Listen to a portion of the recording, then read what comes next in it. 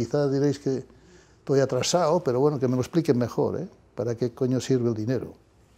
Que se revaloriza solo. Ojalá desapareciera, pero necesitamos o un papelucho o, algo para intercambiar nuestros sudores, el sudor de nuestra frente, que es lo único tangible, tu trabajo diario, tu valor, eso tú tienes que transformarlo en algo, O tú recibes manzanas a cambio de un masaje, o mm, tu sudor se tiene que plasmar en algo para tú poder intercambiar con otro que también haga, le haya costado lo suyo de otra forma, ¿no? Eh, generando riqueza a través de sus sudores. Una relación de sudores tiene que estar para facilitar la vida, ¿no? Llámale dinero, llámale, yo qué sé, tú, tarjeta de estas de criptos o lo que quieras, algo para facilitar nuestra vida. Los jodidos son las monedas que por sí solas se revalorizan.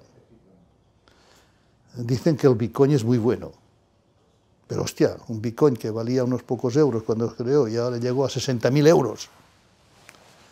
El año pasado dices, esto es especulación como el euro, el dólar, no lo acabo de ver claro. No, aún no digo que esto sea malo ni bueno, no lo acabo de ver claro. ¿Eh? Por tanto, eh, toda moneda, todo dinero que por sí solo crezca, uh, huele hecha musquina, ¿eh?